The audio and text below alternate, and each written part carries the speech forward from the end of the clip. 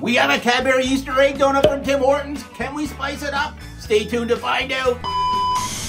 Okay. Just kidding, guys. We don't we don't need the drill this time. Okay, we're gonna what we're gonna do, we're gonna insert some tincture in through the hole. I think this is jelly filled. Where's the hole at, man? Where's the hole at, man? I can't find the hole. God damn, maybe there's no hole. We'll make our own hole. How about that? We'll make our own hole, man. Then we also have this.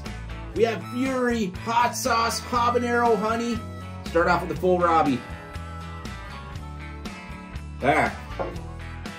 So since there's no hole, I'm gonna make my own. In we go, bye.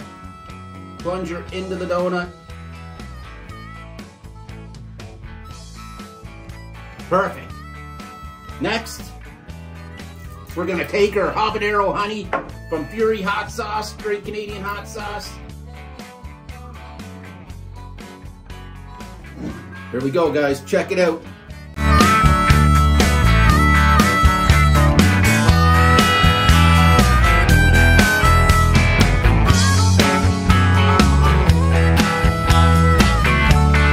Look at that.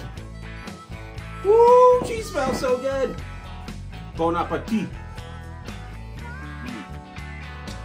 That's how you do a donut, guys. From Timmy's.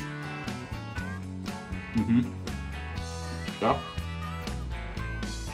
I think the sweetness and the donut kind of balancing out the heat a bit. Not hot sauce. So good, guys.